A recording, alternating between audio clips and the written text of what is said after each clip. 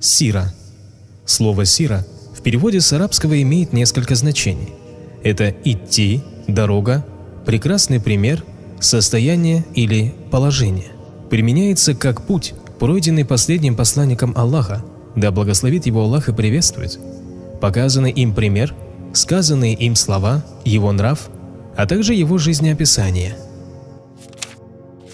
Усиление ислама Притеснение со стороны многобожников Все принятые меры многобожников по возвращению мусульман из Эфиопии в Мекку не увенчались успехом.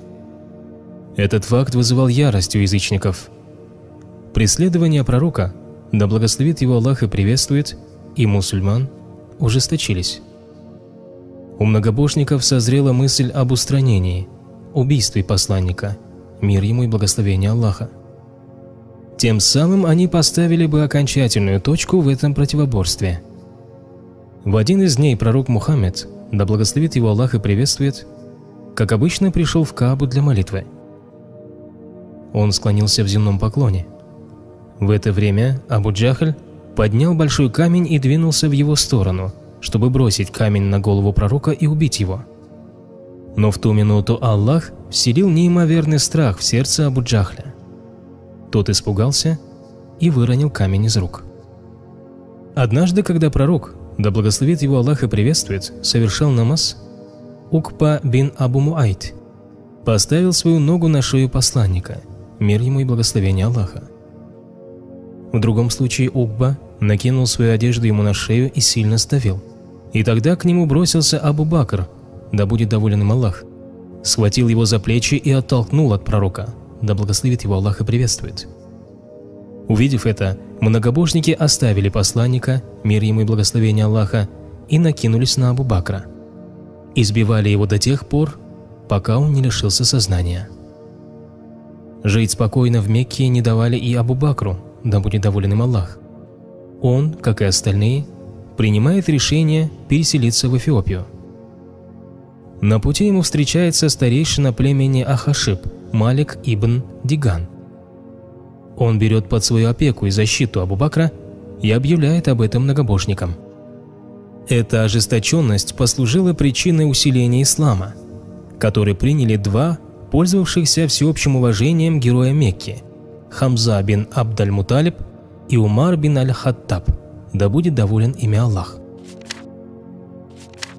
Ислам принимает Хамза, да будет доволен им Аллах. Хамза, да будет доволен им Аллах, был братом отца пророка Мухаммеда, да благословит его Аллах и приветствует.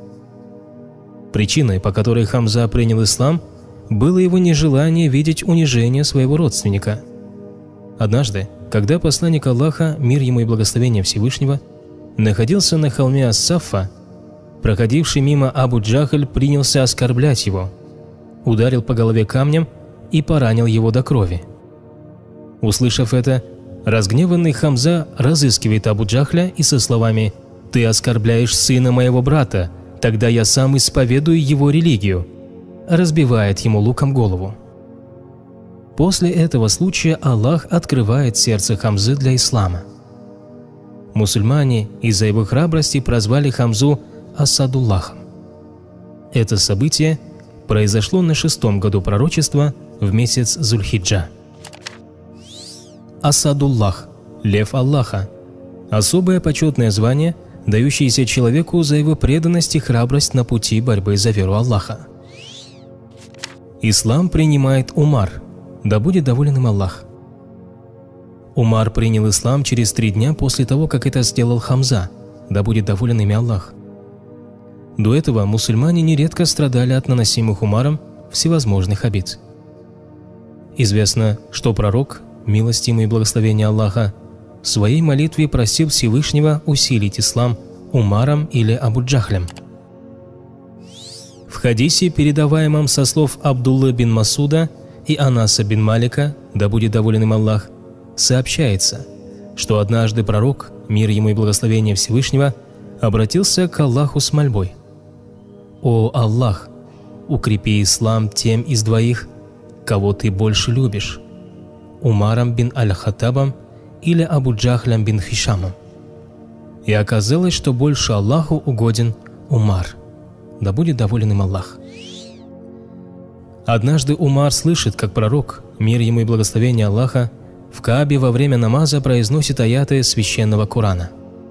В тот момент сердце Умара пронизывается светом ислама. Однако внутренняя борьба заставляет его не предавать свою религию. В один день Умар вышел из дома для того, чтобы убить пророка, да благословит его Аллах и приветствует.